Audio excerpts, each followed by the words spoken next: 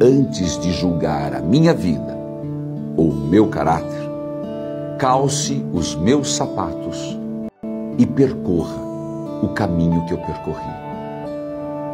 Viva as minhas tristezas, as minhas dúvidas e as minhas alegrias.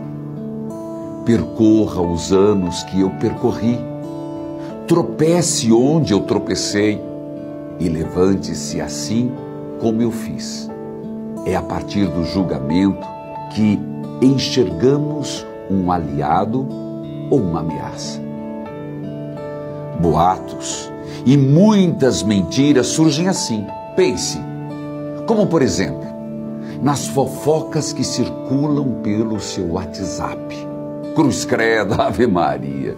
Queria que pelo menos esse vídeo ajudasse você a refletir sobre a maneira que está se comportando.